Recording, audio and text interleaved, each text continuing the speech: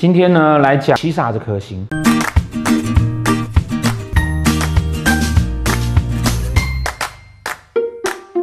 诚如这一系列刚开始的时候，我们跟大家说的哈，每一个星耀呢，其实是代表了我们自己内心对事情的一个态度跟价值。那对应宫位呢，表示我们在那个宫位上有这样子的态度跟价值。一般来说呢，我们都只会去注意到说，好，比如说贪狼是桃花星，紫薇是地星，可是它其实这个每一颗星在书上所告诉你的那种什么，它是地星，好，然后它是桃花星，其实它都有它背后的含义。好，就像紫微星，我们告诉你说，它所谓的地星的概念，是因为呢，皇帝是需要被尊崇的，是需要尊荣的，所以它其实代表了是你内心里面需要被尊崇跟尊荣的那一块，也就是说你自尊心之所在。好，贪狼，贪狼这个桃花呢，桃花其实最原始的意思是发生、发现、长出来。那呃，所以它其实代表了呢，是你的欲望。因为欲望而有动力，动力而你会去追求，然后事情会发生。所以贪狼星所在的宫位是你欲望的所在，紫微星所在的宫位是你自尊的所在。一般的书上啊，很难让你去理解到说，其实星耀需要这样去学习它，跟需要星耀它有这样的特质。嗯，所以这一系列我们都在讲这个概念。杀破狼这三颗呢，长期看老师视频的人就会知道说，这三颗其实代表人类最原始的欲望跟情绪。从贪婪开始，它是欲望。的根源，那你有欲望之后呢？你要去追求这个欲望的时候，你就要有一个梦想，然后你要有一个不同于一般人的一个方法，好，那创意，好，那这个是破军，所以你会打破旧有的规则，好，所以破军星所在的地方是你梦想的所在，是你愿意去打破规则的地方。那七煞是什么呢？七煞是在这个欲望跟梦想的背后支撑的力量，所以七煞代表是你个性里面呢。最坚决的那一段，所以为什么七煞破军跟贪狼，哦，它是在三合内三方四正的那个三合里面，然后是顺时钟七煞破军跟贪狼，你从坚持的力量，然后有足够的梦想跟创意，然后最后呢会去满足到你的欲望。这边呢，我们可以顺便啊跟大家介绍一下啊，比如说如果是七煞在这边，那在三合，好，这边就会是破军，好，然后这边会是贪狼。斗数里面会有个观念呢，就是说啊，这个会刚好是官禄宫的位置。如果你这边当命宫的话，哦，这边当命宫的话，这边刚好是官禄宫的位置。也就是说，官禄宫呢，代表的啊，是我们生命价值所在。好，你怎么去追求你生命价值？比如说你在年轻的时候，你整个日常生活都在念书，所以读书的价值就是你整个生命的价值。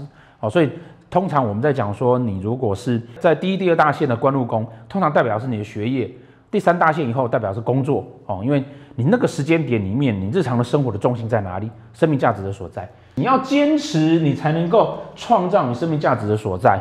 财帛宫是什么呢？这边就会是财帛宫。好，如果命宫在这边是刚好是财帛宫。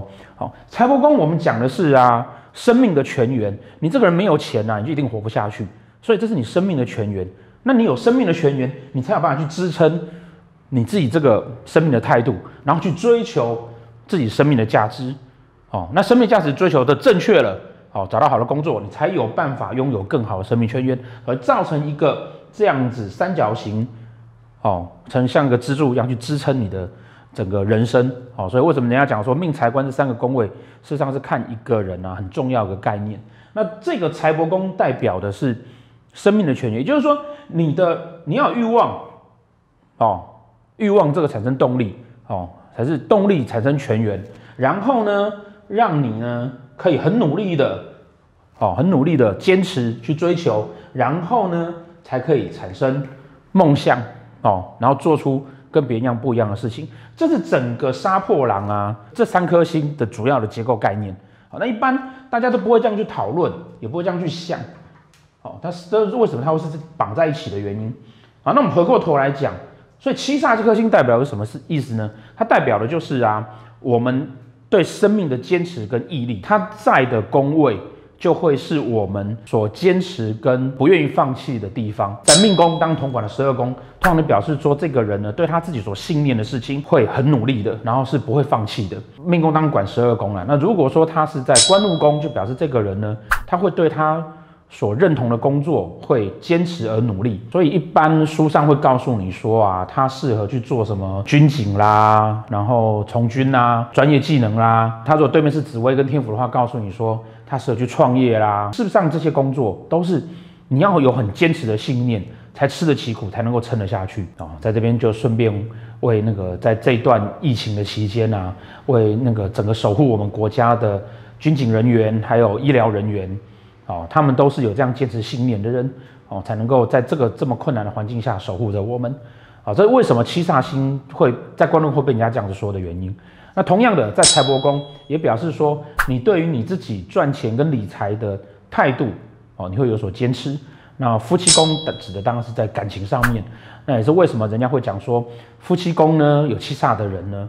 哦，如果做四马地，或者说有什么煞星，他可能会抛夫弃子，然后去外遇，会去远走天涯。其实是因为，当他如果真的遇到真爱，他就会觉得他我坚坚持的相信，这才是我要的男人，这才是我要的女人。那其他的我我都可以不在乎。哦，那个坚持的信念，这有时候是很无奈的事情嘛。哈，因为你可能年纪轻不懂事，然后嗯选的人不对，那后面才发现是对的。好，那再来，如果呢他是在福德宫。哦，实际上在福德宫哈，很多人都说他会是很适合什么去修行啊，哦，很适合去往宗教事业去走啊。哦，原因是为什么？因为你对你灵魂的信念是有所坚持的。哦，那当然他就会想要去探索他灵魂的状态，想要探索他他的过去啦、来世啊等等。那这些都要在宗教上面、心灵上面才学上面才会有得到一个一个解答。那研究久了。当然就有可能往宗教路线去走，原因在这个地方。如果是仆役宫或者是兄弟宫，是代表是可以说是你对朋友呢是很讲义气的。你看，你跟朋友是没有血缘关系的，纯粹因为我认同你，所以我们中间有交情。那你会对这个交情呢有所坚持，所以这种人当然就表示他是很有义气的人。好，那当然，他如果不爽你，他也很快就会不要跟你往来。天灾宫，天灾宫代表两个意思，一个是家人的关系，一个是财库。好，在本命盘上面，家人的关系当然呢，就可以表示说你对家人呢是重义气的，而且是是坚持信念的。那通常这种人是照顾家人的。那如果是那个财库的观念来讲的话，哈，其实就要看看财不公的情况，否则也就会变成是，呃，你对你自己财库如果不小心有煞星，那就是。当你要破财的时候，你也会毫不手软。呃，子女宫呢？哦，子女宫呢？子女宫指的当然是对小孩子跟性生活嘛。那当然有财库，那这个时候财库就跟天台宫解释一样。那如果是性生活呢？坚持的力量哈，那还不错。嗯，那对小孩子的态度呢？我对小孩子态度，有的时候就会变成是小孩子如果不听话，你比较容易跟他起冲突，因为你会坚持你自己的想法。这一系列啊，哈，都会被大家问到一个，就是那老师你都没有讲极恶宫，你们如果希望听到是身体状态，哈，身体状态其实不太会是在本命盘出现。本命盘的极恶宫，它会讨论的是你天生的情况，除了某一些组合有特殊的天生残疾或是天生有什么疾病之外，大部分你生病的情况都会出现在运线盘。好，那我们这个系列专门在谈本命盘，因为星耀在于各宫位的这种价值跟概念，它会出现在本命盘上面。哦，就你与生俱来，你带下来的个性就这个样子。所以极恶宫会代表的是你对身体的态度。所以七煞在极恶宫的人呢，哦，通常颇能够要求自己的身体。比如说老师我，我就不太能够要求我自己的身体啊。有看我影片的就知道，说随着影片越拍越多，我就越来越胖，完全没有办法要求我自己的身体。那能够要求自己的身体的呢？那大概就比较不会胖了。有没有例外？当然有例外啊！你要看它有个贪贪狼星在这边，一个不小心有录进去，那也就是会越来越胖。他要求的部分可能就是那个身体过得很舒服啊，不见得是瘦这件事情。通常极恶宫有七煞这一类的人啊，他在工作上面都比较能够愿意操劳，这这也是啊。那再来呢，父母宫啊，父母宫当然就是表示你爸爸是像七煞这样子的人喽。比较特别的是说啊，好七煞星它单独一颗星的时候啊，对面一定是天府星，所以呢，它的内心啊是天府的这种需要需要掌控一切这样子的概念，哦，需要有自己地盘这样的概念。那这个时候你就要去看看说，七煞对面如果是天府的话呢，它会有几种组合，好，也就是说它的那个坚持点到底在什么地方？譬如说啊，好，对面可能是子府的，紫薇要的是什么？紫薇要的是尊荣，对不对？好，所以说七煞如果在官禄宫，他对面会是子府，也是他对工作上面的坚持要的是什么呢？要有足够的地位跟要能够赚到钱。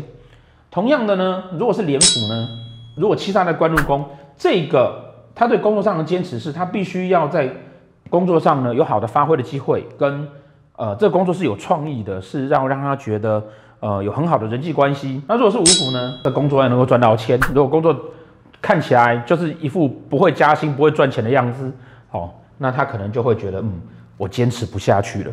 所以，同样的坚持在这个工位里面，你还是要去看他对宫是什么东西。再来，七煞也有可能是双星，对不对？它有可能是五煞，哦，连煞，哦，还有呢，子煞，哦，这些哦，这里面呢，我们教过谁？我们这教过。